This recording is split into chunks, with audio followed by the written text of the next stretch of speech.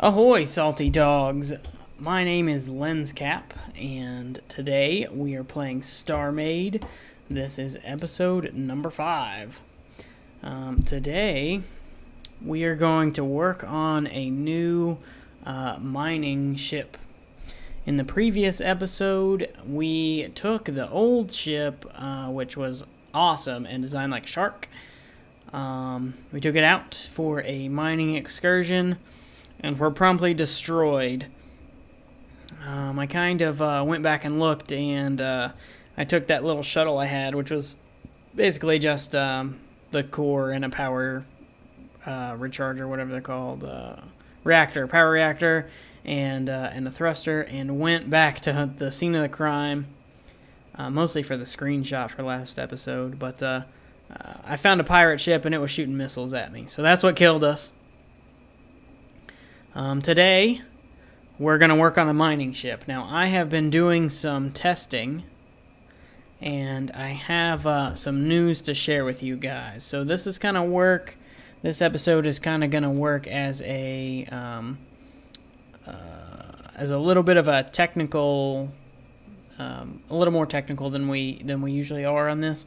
Um, but this is a pretty technical game, so um, we've, uh, we've done some numbers. Let's do some min-maxing real quick. Um, you know, I really should make a skin for my guy. I think you can skin these guys. Okay, so uh, what have we found out? So I was playing around first with power reactors. Um, so when you build a ship, the first thing you want to put on it are power reactors. And, uh, and I found um, some interesting uh, things. So I've got 50 reactors on me. Um, and I found I tried four different um, like methods of uh, placing the reactors, and I found that I got four different numbers um, for power recharge, um, which I thought was very interesting. So uh, so that's uh, so that's cool. So uh, the first thing I found and the least efficient um, was I just made a block of them so let's do that really quick. If we hold Alt, uh, I'm sorry, if we hold Control, then we get, this is building mode. Um, this took me forever to figure out, and I'm kind of embarrassed about it, but uh, if I had trouble, I figure somebody else will learn from this too. You can slide these guys and adjust how big the block you're building is. See, now I've got a 4x4x4 block, so we're going to make that out of reactors. Um, and uh, it makes 4x4 it makes 3 by 4 plus 2. Um, and this gives us 2472 power uh, per second, energy per second. Um, which is uh, which is okay, but uh, this is the least efficient way to lay out your reactors. Um, the next method I found uh, was a was five by ten by one. Um, so here, let's do this. We can go remove mode, and then, whoops, and right click, and that'll remove them all. And I got them all back. So now, if we do uh, 5 by 10 by 1, then we can place these, and that puts all 50 of our reactors down. Uh, that gives us 3244. So, uh, recharge per second, energy per second. So that's the next most, still pretty efficient, inefficient um, compared to some of these other numbers. So the next one, and uh, I'm not going to do this just for sake of brevity, because um, it takes forever to lay it out, but uh, what I did was I made a cube um, of these reactors, but I made sure none of them were touching. Um, so what I did was I placed them like this, uh, basically with none of them touching in, uh, in a cube. Um, just to see kind of how uh, the reactors responded when spaced out. Um, and that gave me a total of 7,842 uh, energy per second. So that's a lot better. Well, now we're getting somewhere. Um, that gives us um, about twice as much as the previous one. So that's uh, that's interesting. That's good to know. So it's more efficient to have the reactors not touching um, than touching at all. So the third, uh, or the fourth rather, um, way that I laid these reactors out, um, and this was the most efficient that I found, was I made, uh, and a lot of people have on YouTube know this already, but you make a chain of eight, and then you want to cover three axes with them, like this. So one, two, three, four, five, six, seven, and then you go uh, a third axis will go vertical. One, two, three, four, five, six, seven. Um, so you do that, and if you lay them all out like this, um, seven by seven with with another one, so they all end up being eight by eight long like arms. Um, if you lay them all like this out, then you get six blocks left over. Um, but once you place all those six blocks as well, and you just kind of, I set them so they weren't touching for this result, and I got 9,890 power per second, uh, which is pretty phenomenal. So I wanted, uh, there was one more method that I wanted to try, and uh, I haven't tested this one yet. Um, and that's kind of a, kind of a hybrid of all of the other ones. Um, but I wanted to test how much power you would get if you did uh, like smaller um, smaller increments um, of the of the ones. So like um, so for example, we have um, so for example, let's do like like the three axis uh, option. So if we do like this, and then for some reason my mouse isn't responding the way I thought it would, uh, and I don't know how to get it back. Uh, okay. Anyway, we do we do one there, one there, one there, and one there, like that. Um, that gives us 476 regen per second. Um, what if we did this on just a smaller scale really quick, just to test?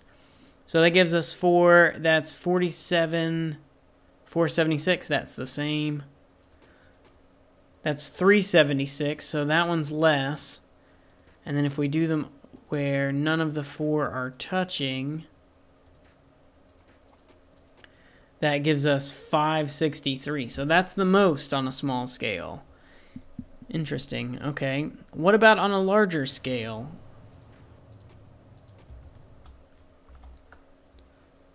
So I built this kind of reactor here, uh, kind of as a test here. And uh, basically it's got in the corners, um, it's got that first shape we tried with the, uh, with the four blocks in it. They're facing the three axes.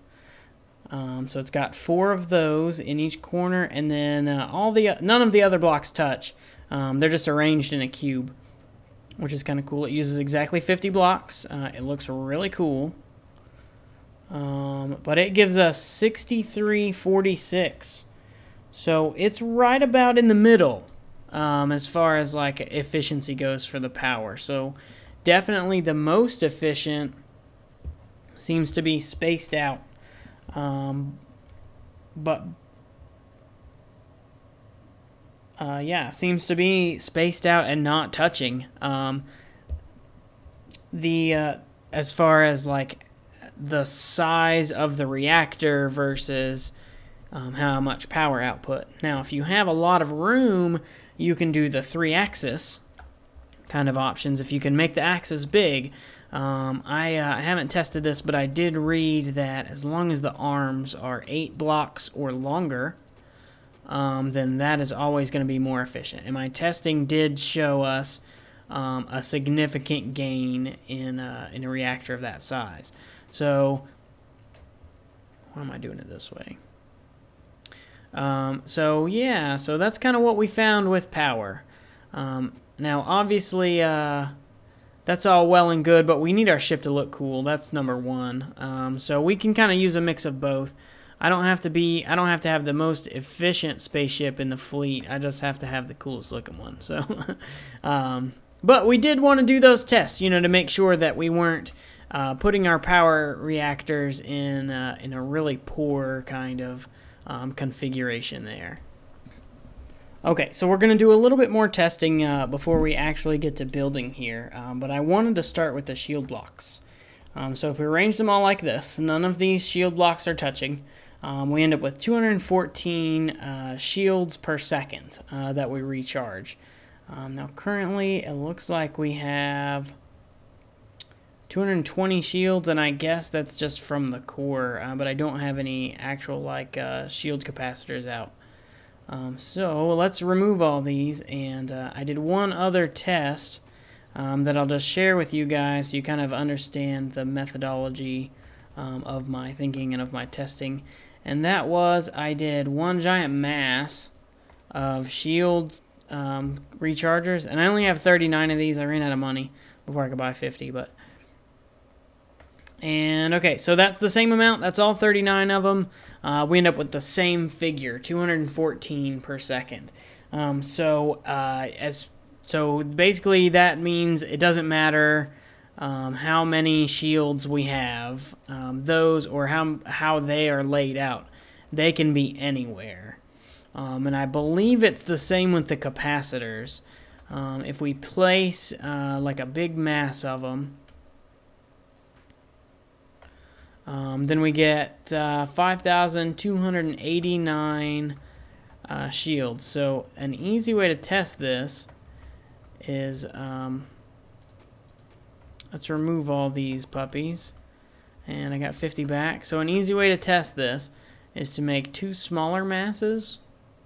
Or we can just make several smaller masses of them um, that aren't linked together basically and just see yeah so now we've got 5289 so it's the same amount. So these it doesn't matter how these are configured either. Um, so they uh, can go basically anywhere. So we can think that keep that in mind uh, while we're building the guts of our ship. Okay so for the salvage modules they uh, work based on how many blocks are touching. It doesn't matter how long um, your like array is. This is two guns, um, and each gun has six blocks in it. Um, so uh, to put this uh, to illustrate this another way, um, if we add three like that, that's the same power gun. Um, it doesn't matter as long as it has six blocks and they're touching like that. Um, now, if we add another array like this, now we have four guns uh, because of the symmetry. Um, because they're not touching. Corners touching doesn't count. So here we have four guns um, of six blocks each. So uh, my research um, on this, which includes reading the Wikipedia article, and that's about it for salvage cannons, um, states that the number of cannons that you have in a line uh, or grouped together is what affects your salvaging speed. Um, and we'll talk about the duration um, of your beams in a moment, but to affect your salvaging speed, it matters how many cannons you have in a row. Um, so let me just grab my notes. Um, if you have one cannon then it takes seven seconds to mine a block. So that's so that's one cannon. Um, so we'll be able to mine two blocks with this each seven seconds. Uh, that's pretty slow. Um, now it increases exponentially to a point, and then there are some diminishing re returns, kind of. So two blocks together gives you about a three second mining time. So this way we get two blocks every three seconds. If you do five blocks, then that gives you, it's about one second per block. Um, so that's much faster with a few blocks, with only a few blocks. Now, if we do, uh, if we do 10 blocks, now we're talking. This is about half a second per block. Um, so that's much faster. Um, but as you notice, you know, one second for five, half a second for 10. Okay, if we make it 20 blocks, then we're about 0.1 seconds per beam per block. Um, so that's really fast. So every second, one Mississippi, we get uh, 10 blocks out of that. So that's pretty good. Okay, now if we do 50 blocks, um, I left that, that last one was off a little bit, but that's 50 blocks. Um, that gives us 0.07 uh, seconds to mine a block. Now we're cooking with grease. That's super quick. I'm just fixing that. Okay, it's 0.7 seconds. That's 0.07 seconds. That's 7% of a second. So every second, we can mine 700 blocks. Wow. What if we have 100 blocks? Well, this is where diminishing returns kind of come in. Um, that makes this guy uh, twice as large as it currently is.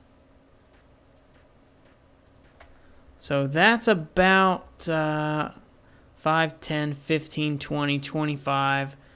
Uh, that's 50, and that's another 50. So that's 100 blocks. This cannon uh, can mine one block in 0.02 seconds.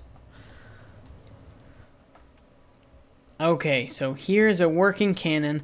By the way, if you didn't know this, if you want to tell your cannons which like uh, which block to shoot the beam out of, you can go to the end of a segment or wherever in the segment and hit R on it, and that says make output. So if we want the top ones all to be where our beams come from, we just hit R on each of those, and then we go in and fire our cannons. Um, they all shoot out of that top block, so that's kind of cool. So, uh, so the next thing I wanted to talk about was we've got a little basic kind of cannon setup here.